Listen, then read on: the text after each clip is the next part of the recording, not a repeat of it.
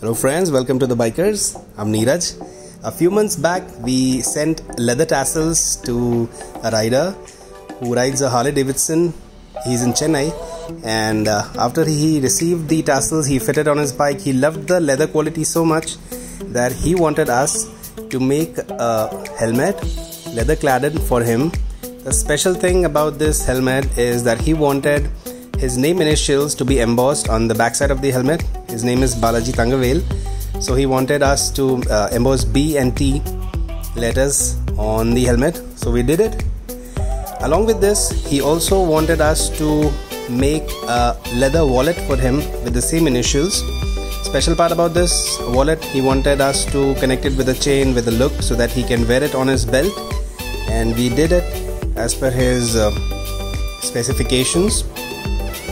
Tell us in the comment section if you like what we have done here. And if you want something like this for yourself you can contact us on the number I'm mentioning on the screen. And also I am uh, putting the number in description as well. And ride hard and ride safe. Cheers